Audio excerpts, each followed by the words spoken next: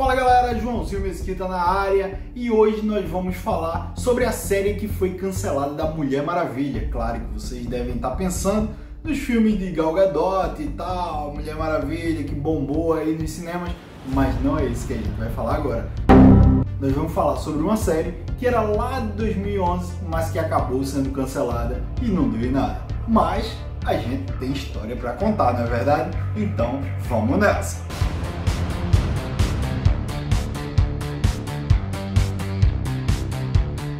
Para começar a explicar a história dessa série que não rolou, vamos ter que entender que outra série da DC, que era Smallville, fazia bastante sucesso naquela época. Embora estivesse chegando ao fim, abriria portas para outras produções da DC lá na TV. Daí, querendo aproveitar aquele hype que a CW tinha deixado para aquele momento com o fim de Smallville em 2011, Embora nós só tivéssemos uma grande referência anterior da Mulher Maravilha lá por meio daquela série que era feita lá com a atriz Linda Carter em 1975. Afinal, essa agora seria um remake daquela série. A personagem já fazia bastante sucesso nos quadrinhos, isso é inegável. Daí, logo no início do ano, a NBC resolveu engatar uma série da Mulher Maravilha. Com isso, precisaria fazer logo um projeto piloto.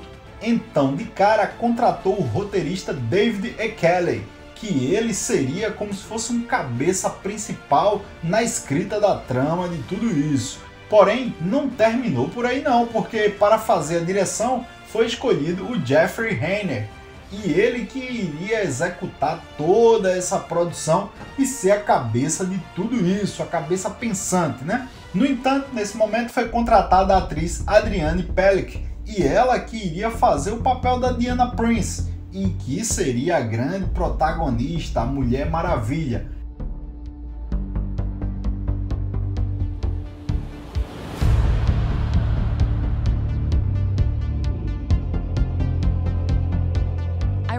can't believe I'm getting paid to wear this outfit.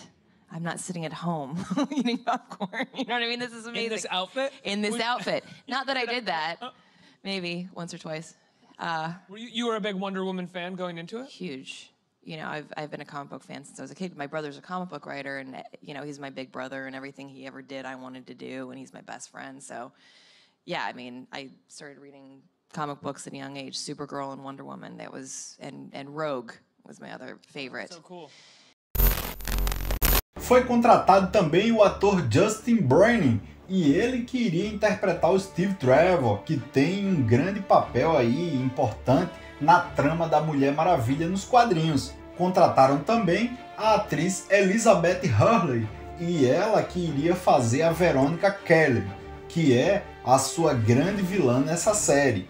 E uma curiosidade é que foi contratado o ator Pedro Pascal, esse que também ele faria um papel lá no filme da Mulher Maravilha de 1984, que ele foi lançado lá no ano de 2020, quando ele fazia o vilão Maxwell Lord. Voltando aqui à série, a proposta era que a Diana Prince ela fosse uma espécie de empresária muito bem sucedida e ela seria uma diretora das indústrias temícera e como um disfarce, né? Porque na época ela iria atuar como super heroína, mas assim de forma mais sutil. Até porque a proposta aqui era renovar o personagem para atrair o público mais jovem.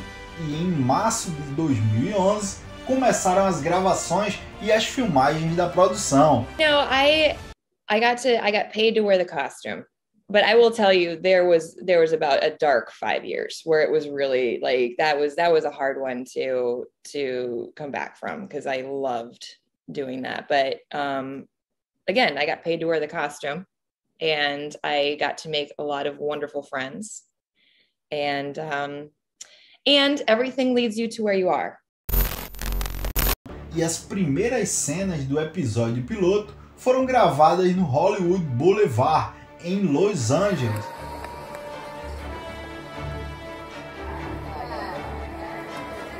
a produção desse seriado se mostrou apta a ouvir os fãs e com isso resolveu mudar o traje da heroína e também fazer mudanças no script, deixando ela mais durona. O seriado deveria agora mostrar o passado da guerreira amazona lá na ilha de Temícera e sua ligação com Steve Trevor, a pedido dos fãs, já que esses fãs eram muito exigentes e estavam batendo forte na série. Afinal, a galera queria essa personagem mais ligada àquela lá dos quadrinhos e que fosse o mais fiel possível. I think we just missed the mark too, honestly, because like a year later is when Marvel and DC, like everything blew up, especially with television. It was like we were just like a year too early. Um, it was a great cast, and and you know, David E. Kelly put a very interesting spin on the whole thing, and um, yeah, I think if we probably been one year, maybe two years later, we would I would be in Vancouver shooting my 20th episode, 20th season, looking really old in a costume.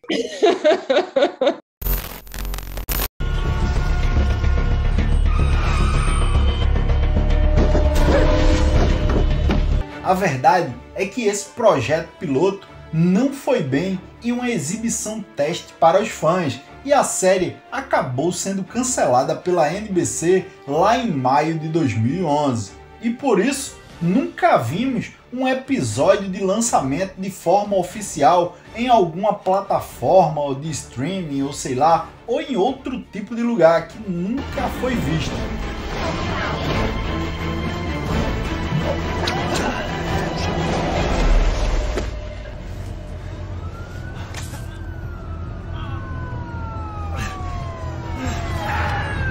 Afinal, esse episódio nunca foi caracterizado como uma obra realmente da DC.